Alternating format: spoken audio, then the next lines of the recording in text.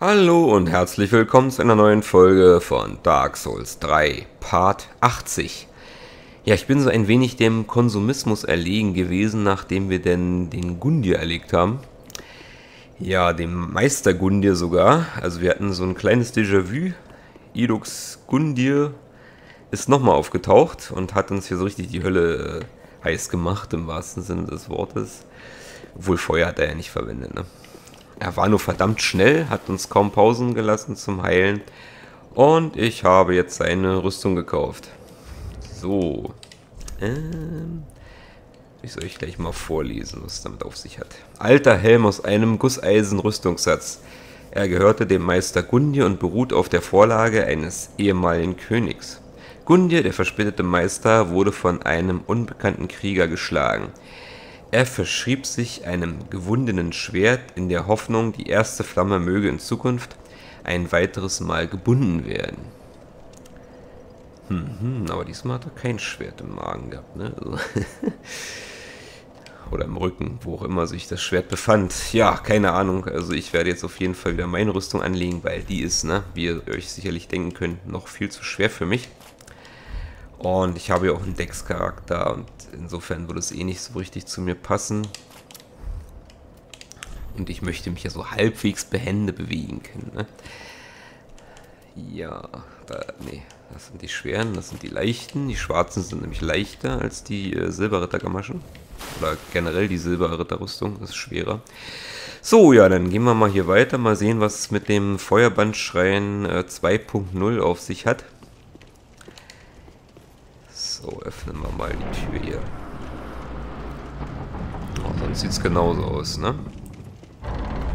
Wie in dem Anfangsgebiet. Sehr kurios. Gute Arbeit, aber das hat bestimmt noch seine Bewandtnis damit. Nichts ist ja zufällig in Dark Souls, in der Dark Souls-Serie im Allgemeinen. Äh, aber ich könnte mit euch wetten, dass hier härtere Gegner auf uns lauern. Waren die äh, Gräber hier vorher schon? Ich weiß es nicht hundertprozentig. Nicht, dass jetzt eins aufspringt und ich höre was. Was Großes. ja, für all diejenigen unter euch, die sich vielleicht wundern, dass ich äh, quasi eine Folge zersplittet habe. Und zwar die Folge 78. Die musste ich splitten äh, in zwei Folgen.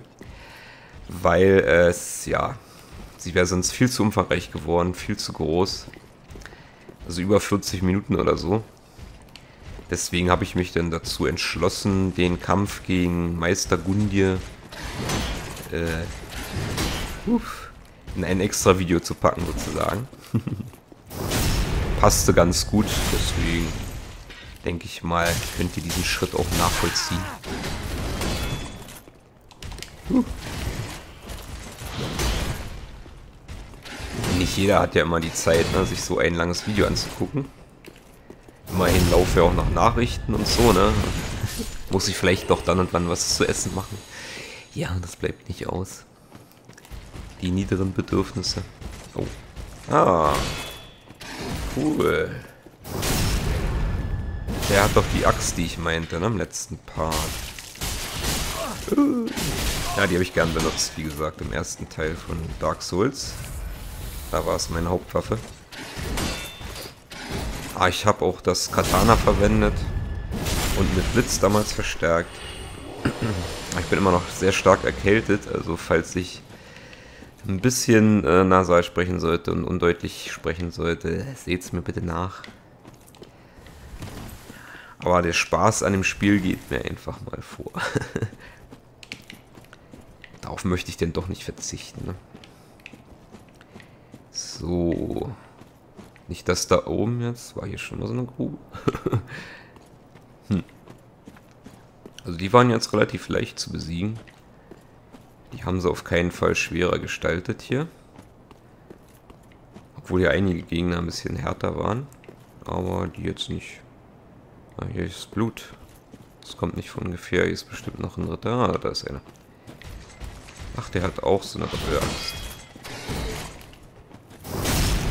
Oh, die sind hier ziemlich langsam.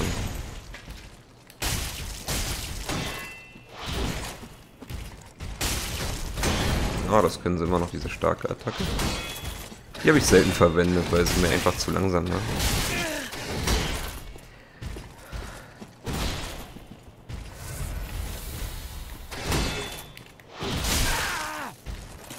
Oh, jetzt reicht's mir. Genug gespielt. Manchmal droppen sie auch ihre Waffen auf. Nee, hier leider nur den Helm. Also ihre Rüstung droppen sie leider weitaus häufiger als ihre Ausrüstung. Untersuchen. Hornissenring. Cool. Sehr geil. Was macht der eigentlich nochmal? ich glaube, der verstärkt doch noch zusätzlich unseren Blutungsschaden. War das nicht so? Äh, ich glaube ja. Hier ist er. Verstärkt kritische Angriffe. Ach, das war's. Dieser Ring gehört der Fürstenklinge Siren, einem der vier Ritter der ersten, des ersten Fürsten Gwyn. Genau, das ist so geblieben. Ja, warum soll es auch anders sein? Ne? er verstärkt kritische Angriffe. Die maskierte Ciaran war die einzige Frau unter Gwyns vier Rittern. Ihr Krummschwert bescherte allen Feinden des Throns einen schnellen Tod. Hm. Ja, naja. Lieber ein schneller Tod als ein langsamer, qualvoller Tod. Ne? Also war sie ja doch sehr, sehr menschlich, sagen wir es mal so. Äh, müssen wir da hoch? Ja, wir müssen eigentlich hier hoch. Ah, ein bisschen anders gestaltet kommt es mir jetzt vor, aber es kann, kann auch täuschen. Bin ja jetzt erstmal auf die rechte Seite gerannt. hm, Moment, kommt mir doch ein bisschen anders vor hier.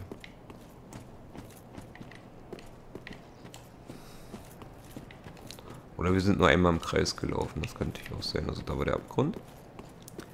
Hier ging es nach oben. Ach ja, dann bin ich nach rechts. Okay.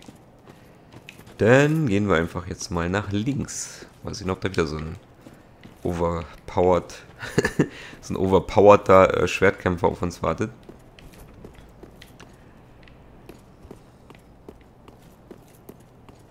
Bin ich ja mal gespannt. Auf jeden Fall liegt da was. Oh, Silberritter, oder? Das ist ein Silberritter. Das sind die stärkeren Verwandten. Oder? Doch nicht? Nee, doch nicht. die Silberritter sehen ein bisschen anders aus.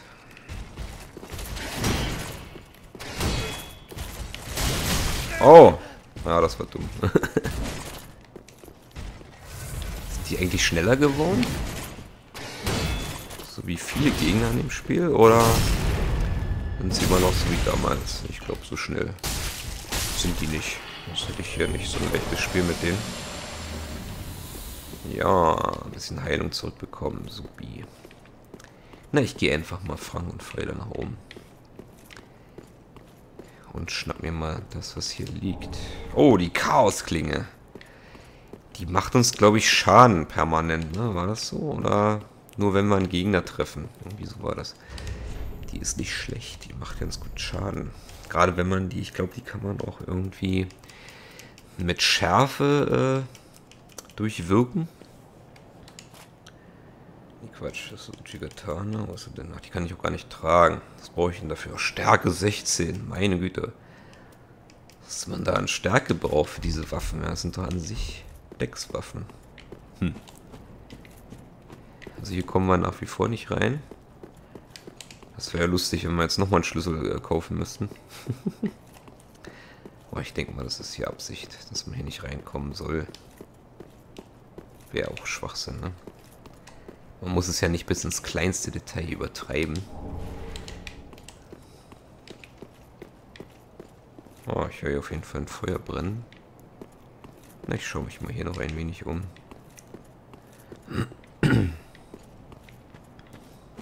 Ne, hier waren wir schon, ne? Hier ist, glaube ich, auch nichts weiter dazwischen. Nee.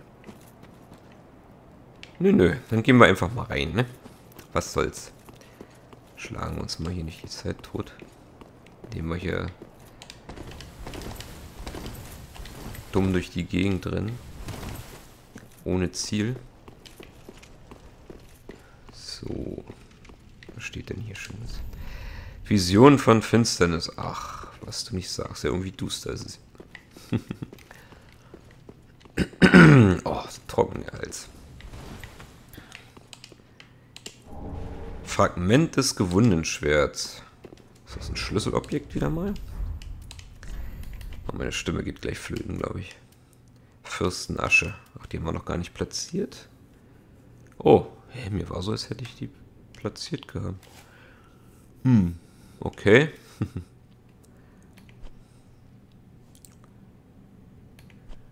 ja, das muss ein Schlüsselobjekt sein, oder?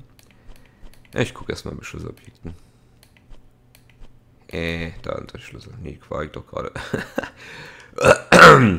also hier ist es nicht. Dann muss es doch eine Waffe sein. Ha. Wäre schön. Ähm. Wo? Das ist ein Questobjekt.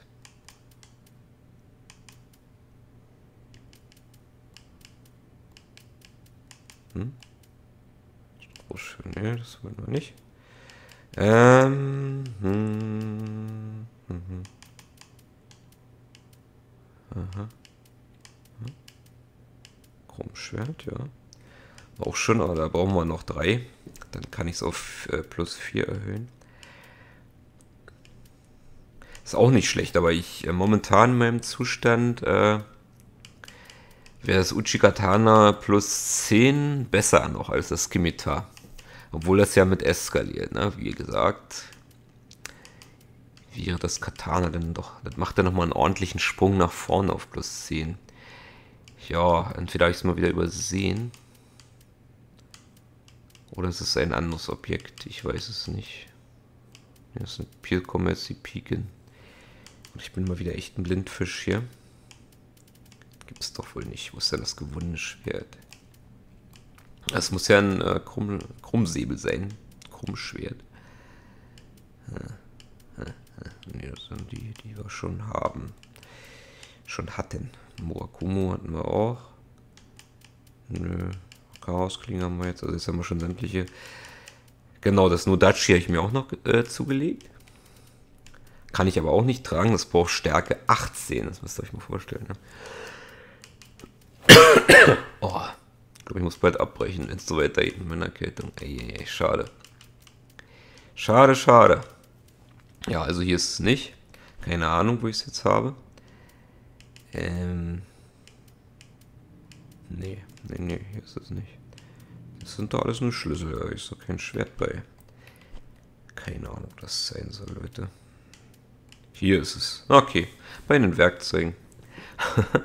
Zum Leuchtfeuer Schrein der letzten Rast zurückkehren. Ach, das ist ja Hammer. Also macht, macht das denn die Heimatknochen überflüssig? Geil. Oh, Moment, da müsste noch was dazu stehen, oder? Hey, unterschlag es euch immer. Das ist nicht gut. So, ähm...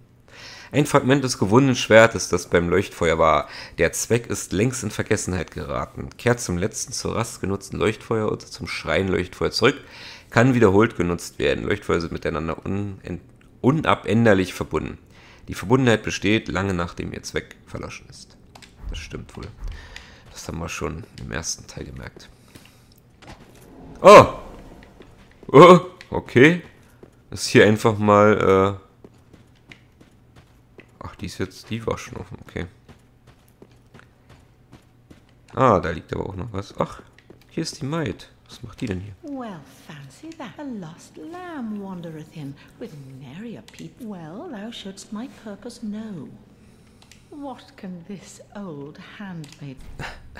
Ich kann mal hier andere Sachen von ihr kaufen. Also Glut kann man bei ihr kaufen. Nur muss ich nicht. Ey, cool. Die Rüstung von Artorias. Hier ist war jetzt Wolfritter-Rüstung. Aber die ist nicht toll. die war ja damals schon nicht so berühmt. Na, ist egal. Der Helm eines Ritters, der von der Finsternis des Abgrunds verderbt wurde. Die blassblaue Quassel wird vermutlich nie wieder trocknen. Ein besiegter Ritter hinterließ nichts als sein Wolfsblut und seine Pflichten. Die Untotenlegion von Pharaon wurde gegründet, um seine Arbeit fortzusetzen. Die Rüstung dieser Wächter des Abgrunds deutet das Schicksal an das sie schließlich ereilen sollte. Sehr geil. Kaufen wir. Schon aus Prinzip. Ich mochte den Gegner. Ein Ring mit dem Porträt des, der Hohepriesterin. Er erhöht den Glauben. In Losric gilt die Hohepriesterin seit langer Zeit als eine der drei Säulen der Herrschaft eines Königs. Die Höhe, Höhe, Hohepriesterin war auch die Amme des Prinzen. Ach so, deswegen sieht man da, sieht man sie mit einem Säugling. Alles klar. Wunderbar. Mhm, Reparaturpulver brauch, brauchte ich hier noch gar nicht. In Teil 2 brauchte ich es öfter mal, aber hier noch überhaupt nicht. So, ja, weiter hat sich nichts für uns anscheinend, aber wir können ja vielleicht noch weiter mit reden. Tarry not for long, tis dark for now, and not a soul stirs, but remember. Or perhaps thou captive already, like the poor girl. Das arme Mädchen. Was meinst du denn mit Mädchen? To skirt the cursed grass. Pardon, Leute. Tarry not for long, tis dark for like the ah, es wiederholt sich das. Mhm. Also treffen wir hier vielleicht noch jemanden. Schmiedehammer, sehr cool. Jetzt haben wir Andres Schmiedehammer in seiner äh, in der Parallel Paralleldimension gefunden. Parallel Parallelogramm? Nee. Ähm, tja, gucken wir uns mal hier um, Leute. Was anderes bleibt uns hier gar nicht übrig. Ach, da kommen wir wieder hier raus. Okay. Hier können wir nichts weitermachen. Können wir hier vielleicht eine Asche platzieren? Wäre lustig.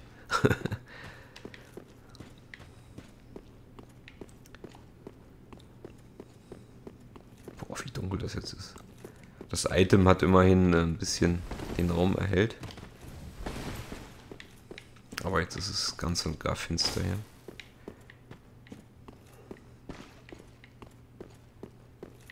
Sitzt da bestimmt noch irgendwo jemand rum. Der ist schon von jemand. Aha. Ui, die ging ja schnell weg. Augen der Feuerhüterin. Oh Gott, was will man denn mit den Augen von ihr? Also sie ist nicht mehr hier. Also hier ist zumindest keine Feuerhüterin zu finden. Das impliziert das so ein bisschen, dass wir nur ihre Augen gefunden haben. Das ist die Tatsache. Hm, das ist ja traurig.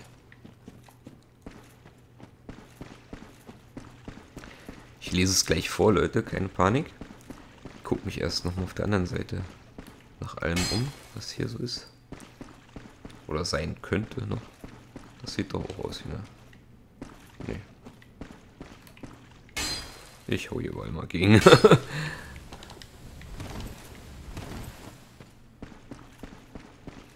Ganz nach oben gehe ich natürlich auch, ne?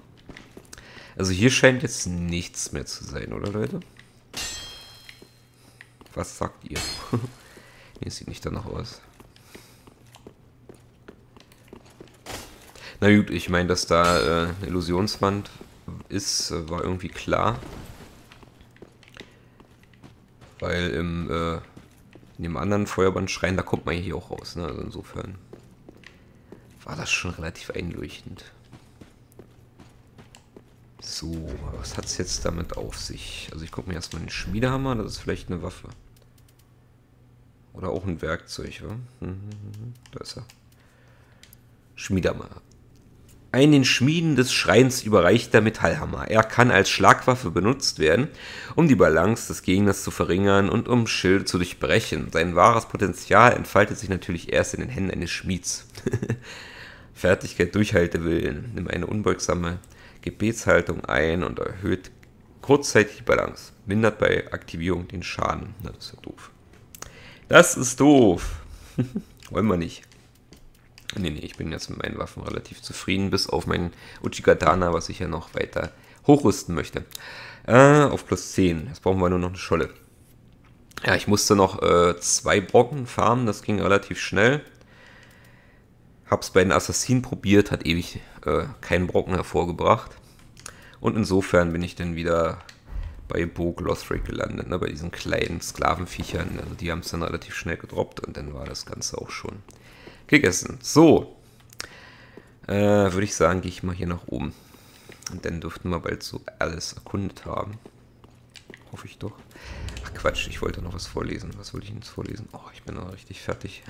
Eine Erkältung, die macht mich wirklich Noch kränker, als ich ohnehin schon bin. oh, ekelhaft. Ähm, bei mir geht es nämlich immer mit Halsschmerzen einher und das ist dann nicht so angenehm. Ich möchte euch jetzt nicht vorheulen, aber ich. Als Erklärung auf jeden Fall, ne? das soll ich nicht wundern. Na, davon haben wir schon 99. Hab nur noch nicht den Altar dafür getroffen, ne? Angetroffen. Ähm. Moment, wo war das Teil jetzt, was wir da gefunden haben, diese Augen der Feuerhüterin? Die müssten doch hier irgendwo sein, ne? Oder ist ein Schlüsselobjekt? Bestimmt ein Schlüssel. Ah, ein Schlüssel. Enthüllt der blinden Feuerhüterin das Grauen. Gut, die Ärmste. Dies sollen die Augen der ursprünglichen Feuerhüterin gewesen sein. Und das Licht, das allen zukünftigen Feuerhüterinnen verloren ging. Das offenbart den blinden Feuerhüterinnen Dinge, die sie niemals sehen sollten. Sehr cool. Oder auch nicht cool, ne? Für die Ärmste. Ja, hier hinter befindet sich bestimmt noch was. Steht denn hier auch dasselbe?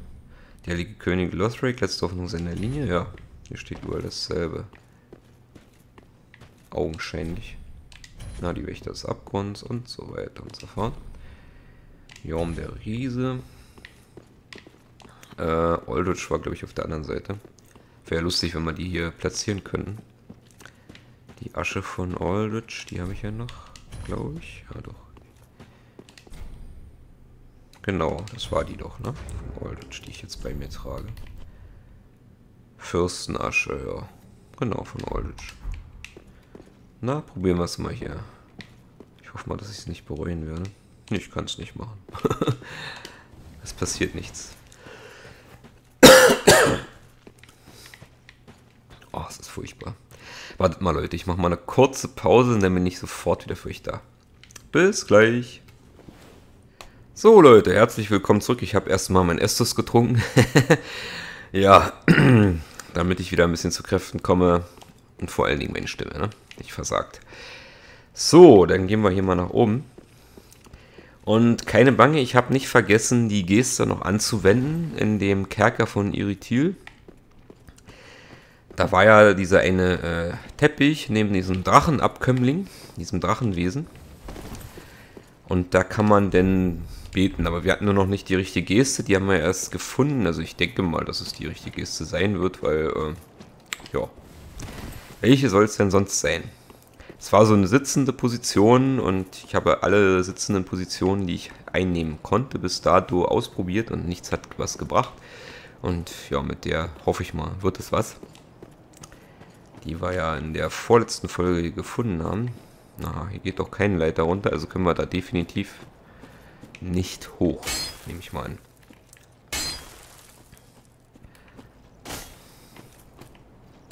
Nee. Nö, nö, hier geht's auch nicht rein.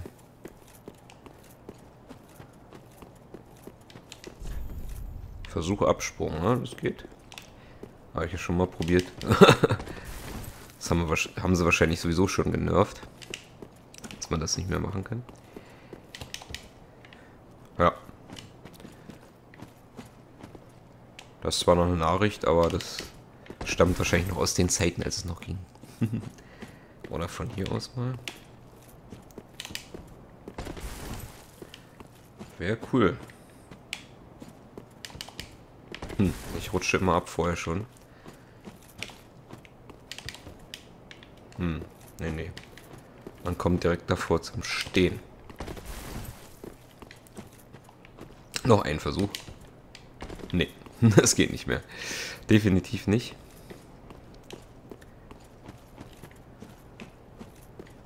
So, okay. Vielleicht haben wir hier ja noch eine versteckte Wand. Hier steht irgendwas. Das ist der Bösewicht, ja, aber das ist in der anderen Realität. Wie gesagt, ich probiere alles aus. Irgendwo gibt es hier bestimmt noch was. Also es kann nicht das Ende der Fahnenstange gewesen sein hier. Ich glaube zumindest nicht dran.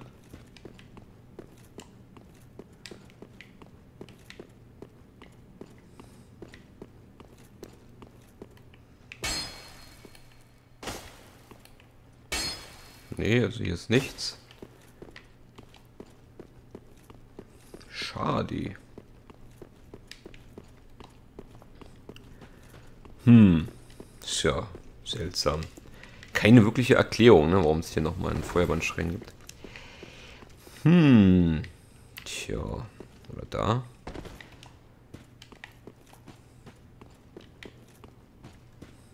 Ich kann mir doch noch irgendwas aufschlagen.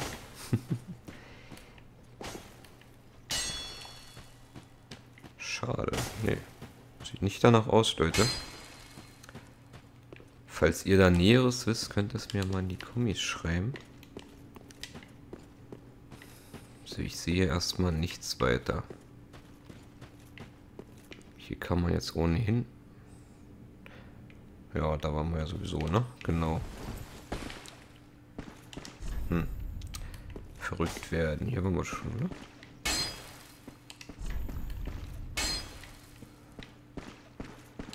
Oh, hier steht nur Geheimnis voraus, ja. Nun, anders scheint es hier nicht zu geben, Leute. Das war es dann wohl. Schade, schade. Finde ich jetzt doch ein bisschen enttäuschend, ne? Hm. Hätte jetzt mehr erwartet. Dass es wenigstens noch eine geheime Tür irgendwo gibt. Wo es noch ein Special Item gibt oder so. Aber dem ist leider nicht so. Hm. Vielleicht weiß hier noch was. Aber sie hat doch nicht so viel, ne? Also ist ganz wenige. Also gerade die Rüstung hatte sie jetzt und das war's. Ganz wenige Gegenstände, ne? Die man nicht unbedingt braucht, ja. Also, ich meine, die Rüstung ist ja cool, aber jetzt auch nicht gut. ist eher schlicht. So, Vision von Finsternis, ja, das wissen wir schon. Tja, dann war es das wohl, Leute. Schade.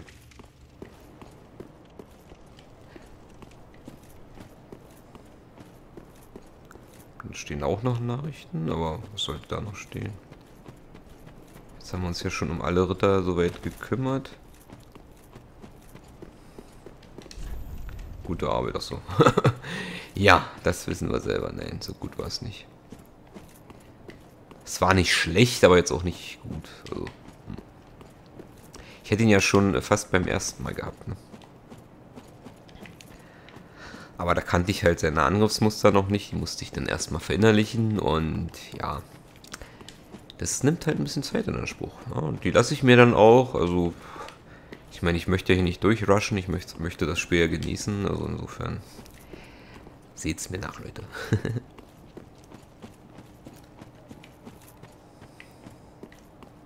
Genießt es einfach mit mir, ne? Tut es mir einfach gleich. Und ja, dann haben wir alle Spaß daran, glaube ich, an der Sache. Tja. Hm. Hier ist nichts weiter. Immerhin haben wir ja von dem Gundir noch die schöne Rüstung bekommen, die ich zwar nicht tragen kann, aber mein Gott. Ich spiele übrigens parallel nochmal mit einem äh, Stärke-Schar. Da eignet sich natürlich insbesondere der Kämpfer. Den werde ich ausschließlich auf Stärke skalieren. Da gibt es ein, ein paar Waffen, die sind ganz ansehnlich für eine Stärke-Char. Am besten sind natürlich Quality-Builds dran. also die mit Geschicklichkeit und Stärke äh, ja, skalieren letztendlich. Da gibt es jede Menge Waffen für diejenigen. So, tja, nee. nee, Leute, also hier gibt es nichts anscheinend. Jo, das war's hier. Im Feuerbandschrein 2.0. Jetzt wisst das, dass es hier noch eine, eine versteckte Area gibt. So, jetzt weiß ich nur noch nicht, was soll ich zuerst machen. Gehe ich in Burg Lothric weiter? Oder gehen wir erstmal äh, beten. also diese Geste ausprobieren. Tja, Fragen über Fragen, Leute. Ich werde sie euch in der nächsten Folge auf jeden Fall beantworten. Also denn, bye bye, ciao, ciao, bis zum nächsten Mal.